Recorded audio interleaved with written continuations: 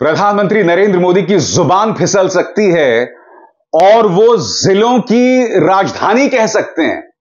देश के गृह मंत्री राहुल गांधी पर हमला बोलते हुए यह कह सकते हैं कि आपकी नानी भी सीएए नहीं ला सकती। चाहे प्रधानमंत्री हो या देश के गृह मंत्री अमित शाह, वो लगातार भड़काऊ बयान दे सकते हैं, मगर उन पर कोई सवाल नहीं होगा दोस्तों। चुनाव आयोग खामोश रहेगा। प्रधानमंत्री नरेंद्र मोदी की ज़ुबान फिसलेगी, गोदी मीडिया उस पर कुछ नहीं कहेगा। कहने का अर्थ क्या है दोस्तों? प्रधानमंत्री नरेंद्र मोदी और देश के गृह मंत्री कुछ भी अनर्गल कह रहे हैं, मगर उस पर पूरी तरह से खामोशी पसरी हुई है। आज न्यूज़ चक्र में हम उसकी चर्चा करने जा रहे हैं। वो नहीं चाहते कि तू खबर की तह तक पहुँच, क्योंकि खबरों की इन्हीं गहराइयों में छिपा है राजनीति का असली खेल। न्यूज़ चक्र, खबर की गहराइयों को टटोलता।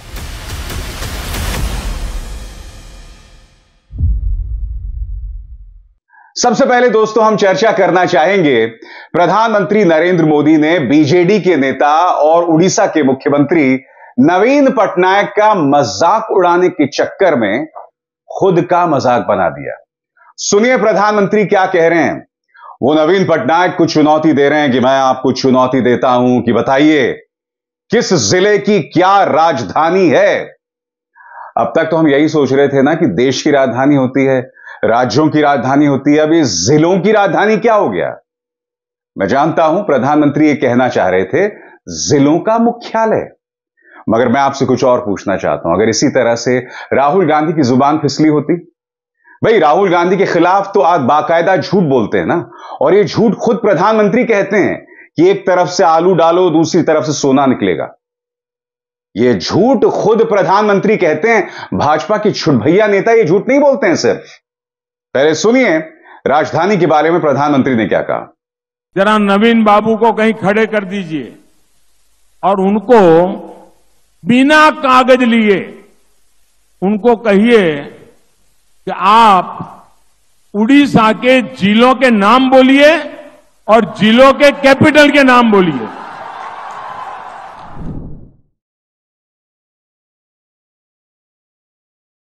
मैं आज तेलंगाना की धरती से पूछना चाहता हूँ,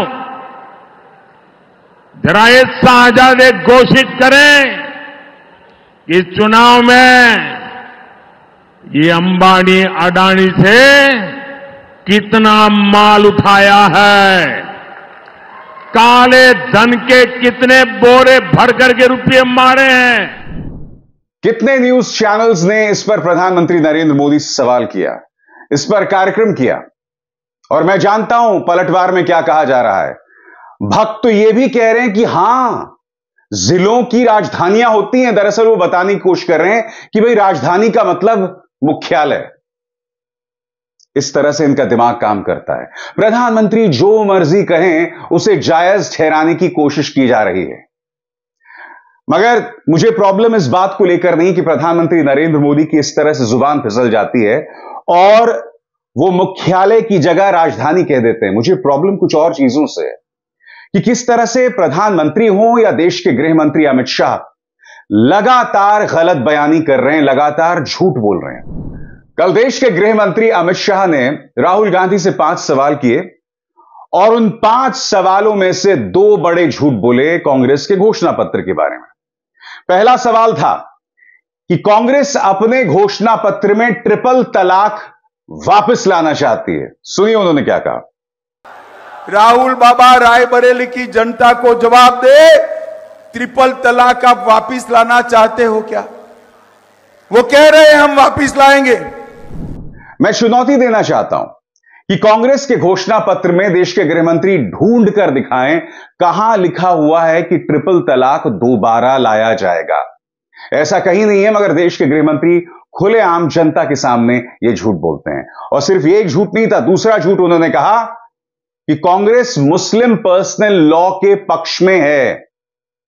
वो मुस्लिम पर्सनल लॉ को जो है बहाल करना चाहती है। सुनिए उन्होंने क्या कहा।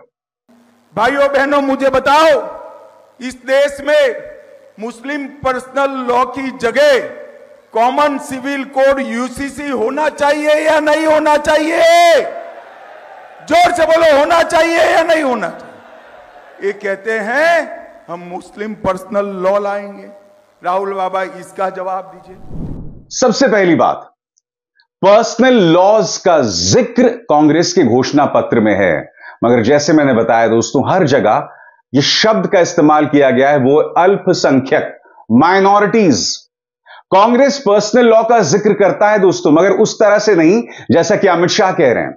कांग्रेस ने माइनॉरिटीज के पर्सनल लॉ के बारे में यह कहा हुआ है कि हम चाहते हैं कि पर्सनल लॉ को लिबरलाइज किया जाए। उसका उदारीकरण हो और वो भी मुसलमानों से बातचीत करके या फिर माइनॉरिटीज से बातचीत करके। कहीं पर यह नहीं लिखा हुआ है कि हम सामान आचार संहिता के खिलाफ हैं और मुस्लिम पर्सनल लॉ के पक्ष में। मगर देश के गृह मंत्री लगातार यह कह रहे हैं, जो सरासर गलत है। मगर देश के गृह मंत्री तो कुछ भी कह सकते हैं ना। वो तो राहुल गांधी पर हमला बोलते हुए यह भी कहते हैं कि आपकी नानी भी सीएए दोबारा नहीं ला जा सकती। देखिए किस तरह से शब्दों और भाषा की मर्यादा को खो रहे हैं देश के गृह मंत्री अरे राहुल बाबा, आप तो क्या? आपकी नानी भी ऊपर से वापिस आ जाए, इस सीए को नहीं हटा सकती। क्या देश के गृह मंत्री को इस तरह की भाषा का इस्तेमाल करना शोभा देता है, मगर वो इस तरह की भाषा का लगातार इस्तेमाल कर रहे हैं? उनके भाषणों में सिवाय भड़काऊ बातें को कुछ नहीं है। आपके सामने देखिए, ये रमज़ान के दौरान 24 घंटे बिजली देते हैं, लेकिन होली और दिवाली पर नहीं उत्तर प्रदेश में खड़े होकर, जहाँ पिछले सात सालों से आपकी सरकार है, इस तरह की बातें कही जाती हैं, जिसका हकीकत से दूर दूर तक कोई नाता नहीं है। मगर मुद्दा यह नहीं कि उसका हकीकत से नाता है या नहीं है। मुद्दा यह है कि देश के गृह मंत्री सांप्रदायिक तौर पर भड़काऊ बयान लगातार दे रहे हैं। प्रधानमंत्री ने भी कहा था, जब उन्होंने मुसलमानों को घुसपैठिया बताया था। यह झूठ कहा था कि आपके मंगलसूत्र को आपसे छीनकर मुसलमानों को दे दिया जाएगा। खुलेआम, लगातार प्रधानमंत्री ये कह रहे हैं। और वही भाषा, वही अंदाजे बयां देश के गृहमंत्री की भी दिखाई देती है, जो अपने आप में कितना शर्मनाक है दोस्तों। बात यहाँ नहीं रुकती है, आगे देखिए। आगे देश के गृह मंत्री कहते हैं यह चुनाव दो खेमों में है, एक है वोट फॉर विकास और एक है वोट फॉर जिहाद। मैं देश के चुनाव आयोग से पूछना चाहता हूँ, आप अपना बोरिया बिस्तर क्यों नहीं समेट लेते? क्यों खामखा आपने एक दफ्तर में स्पेस को ऑक्यूपाई किया हुआ है? खुलेआम जिहाद मुसलमानों को घुसपैठिया भड़काऊ बयानों का इस्तेमाल किया जा रहा है, धर्म के नाम पर वोट मांगा जा रहा है। मगर साहब, मजाल है चुनाव आयोग उस पर कुछ भी कहे। यह किस तरह की शब्दावली है? कि चुनाव दो खेमों में बट गया है, vote for vikas and vote for jihad. और हर गुजरते दिन के साथ देश के गृह मंत्री की ज़ुबान उनकी भाषा का स्तर बिगड़ता जा रहा है। और यही हाल देश के प्रधानमंत्री का भी है। प्रधानमंत्री का एक और झूठ विपक्ष सत्ता में आकर संविधान बदलना चाहता है वह मुस्लिम रिजर्वेशन लाना चाहते हैं। इन्होंने इसका पूरा ट्रायल भी कर लिया है। मैं आपसे पूछना चाहता हूँ दोस्तों, मुझे दिखाइए कि कांग्रेस के घोषणा पत्र में कहा लिखा हुआ है कि जो रिजर्वेशन या जो आरक्षण पिछड़े वर्गों शेड्यूल कास्ट को मिल रहा है, वो मुसलमानों को दे दिया जाएगा। अलबत्ता प्रधानमंत्री, अपने उन तमाम नेताओं के बयानों का जवाब दें। राजस्थान की उप मुख्यमंत्री है ना दिया कुमारी। अरुण गोविल आपकी तरफ़ से चुनाव लड़ रहे हैं। अनंत कुमार हेगड़े आपकी तरफ़ से चुनाव लड़ रहे हैं। ये सब संविधान को बदलने की बात कर रहे हैं। और यही मुद्दा राहुल गांधी, प्रियंका गांधी वाड्रा, अखिलेश और तेजस्वी उठा रहे हैं। तो मैं आपसे सवाल पूछना चाहता हूँ, ये जो तमाम भाजपा के नेता हैं, जो संविधान को बदलने की बात करते हैं, जो कहते हैं कि आप हमें 400 सीटें दे दीजिए, हम संविधान बदल देंगे। क्या आपने आज तक उन्हें फटकार लगाई है? यानी कि प्रधानमंत्री कहीं ना कहीं अनंत कुमार हेगड़े, अरुण गोविल, दिया कुमारी से हा में हा मिला रहे हैं। उनसे इत्तेफाक रखते हैं क्योंकि आज तक प्रधानमंत्री ने उन्हें फटकार नहीं लगाई। प्रधानमंत्री का वो पुराना बयान है ना, जो उन्होंने सांसद प्रज्ञा के बारे में इस्तेमाल किया था। जब प्रज्ञा ने गांधी को गाली दी थी और गोडसे को अपना हीरो बताया था, तब प्रधानमंत्री ने क्या कहा था? कि मैं उन्हें दिल से माफ़ नहीं कर सकता। उसके बाद प्रधानमंत्री ने क्या कहा, या क्या किया हम सब जानते हैं? आपके नेता संविधान को बदलने की बात कर रहे हैं प्रधानमंत्री, उसका जवाब दीजिए। क्योंकि कांग्रेस के घोषणा पत्र में या विपक्ष की किसी भी पार्टी के घोषणा पत्र में मुस्लिम रिजर्वेशन का ज़िक्र नहीं है। ख्याली पुलाव बनाना बंद कीजिए। मगर प्रधानमंत्री यहाँ नहीं रुकते हैं, आगे देखिए साहब। प्रज्वल रेवन्ना का मामला कई सालों से था। इस दौरान कांग्रेस रेवन्ना की पार्टी के साथ गठबंधन में भी रही। उन्हें सब पता था, लेकिन वे चुप रहे। अब वे इसे चुनाव में इस्तेमाल कर रहे हैं। मगर प्रधानमंत्री सवाल का जवाब दीजिए ना। प्रज्वल रेवन्ना डिप्लोमैटिक पासपोर्ट पर देश छोड़कर कैसे भाग गया? नंबर दो, आप ही के पार्टी के जो जिला अध्यक्ष थे, गौडा साहब उन्होंने बाकायदा चेतावनी दी थी आला कमान को। मगर प्रधानमंत्री, आप खुलकर प्रज्वल रेवन्ना के पक्ष में वोट मांग रहे थे। आपको याद है? आप भूल गए। फिर इसे सुनिए, आप किस तरह से उनके पक्ष में वोट मांग रहे थे? हासन लोकसभा से एनडीए के श्री प्रज्वल रेवन्ना और मंड्या से मेरे मित्र एच डी कुमार स्वामी आने वाली 26 अप्रैल को इनके लिए आपका हर वोट मोदी को मजबूती देगा। देश का भविष्य तय करेगा। तो मैं आपसे सवाल पूछना चाहता हूँ, प्रधानमंत्री। पता होते हुए भी आप वोट मांग रहे थे उनके लिए? आप इन सवालों का जवाब दीजिए। आप इन सवालों का जवाब दीजिए कि आप ही के हासन ज़िले के जो अध्यक्ष हैं भाजपा के, उन्होंने आलाकमान को चेतावनी दी थी कि प्रज्वल रेवन्ना को टिकट ना दी जाए। आप क्यों खामोश रहे प्रधानमंत्री? मगर इस तरह की अनर्गल बातें की जा रही हैं। और सिर्फ़ एक नहीं है, आगे देखिए एक एक नगीना है साहब, आगे देखिए फिर। मीडिया कांग्रेस के शहजादे के खतरनाक बयानों और उनके घोषणा पत्र में मौजूद विनाशकारी विचारों का विश्लेषण नहीं कर रहा है, इसीलिए मुझे मुद्दे उठाने पड़े।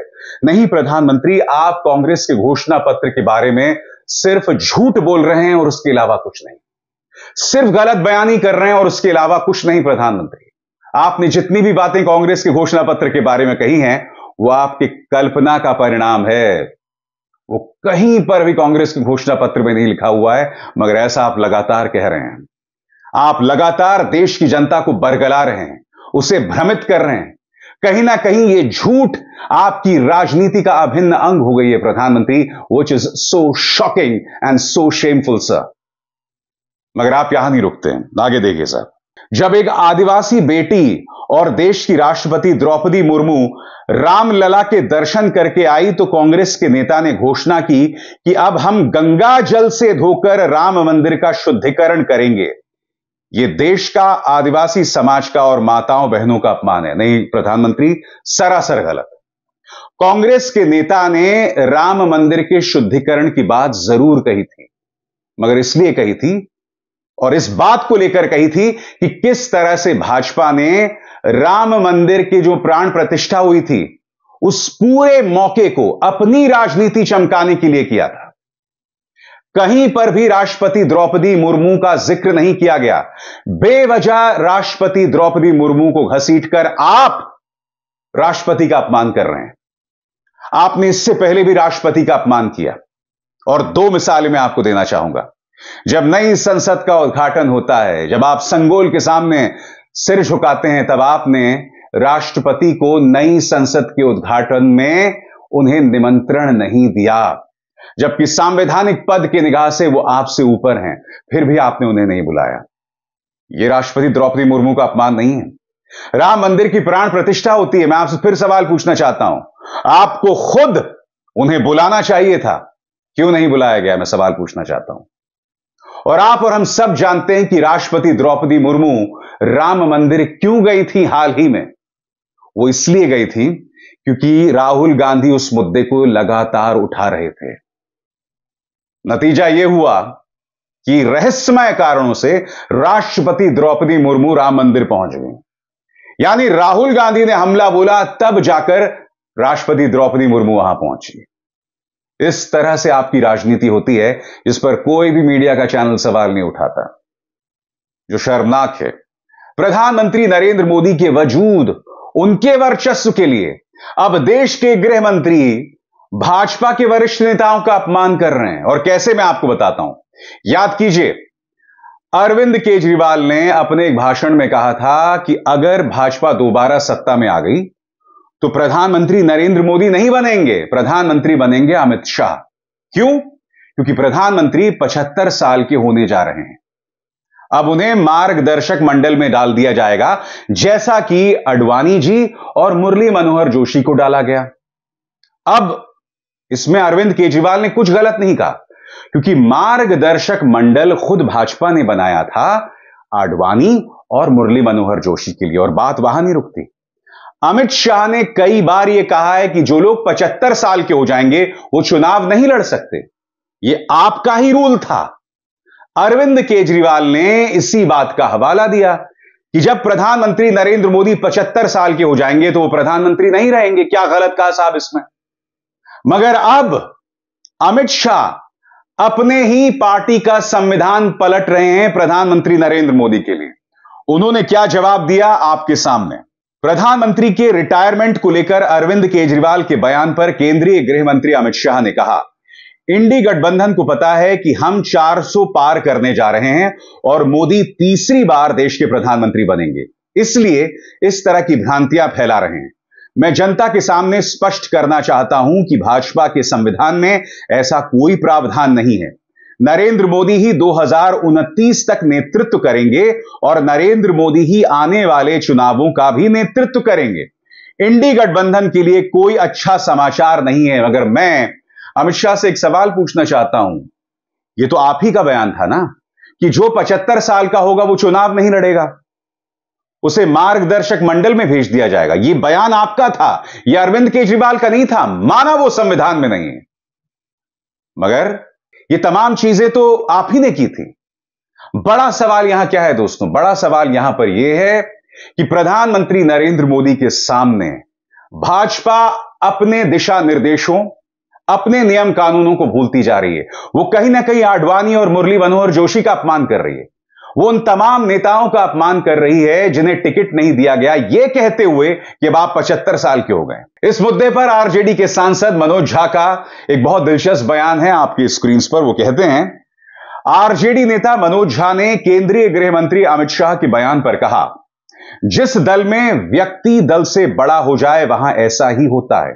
लाल कृष्ण आडवाणी, मुरली मनोहर जोशी रिटायर करा दिए गए, लेकिन प्रधानमंत्री नहीं रिटायर होंगे क्योंकि यहाँ व्यक्ति दल से बड़ा है।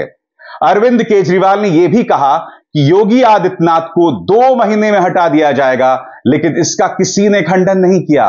मतलब प्लान पक्का है। अगर अरविंद केजरीवाल की एक बात का खंडन किया जा रहा है तो दूसरी बात का क्यों नहीं? सवाल का जवाब दीजिए अमित जी, क्योंकि आपके और उत्तर प्रदेश के मुख्यमंत्री योगी आदित्यनाथ के बीच में जो राजनीतिक रस्सा कशी चलती रहती है, पूरी दुनिया जानती है।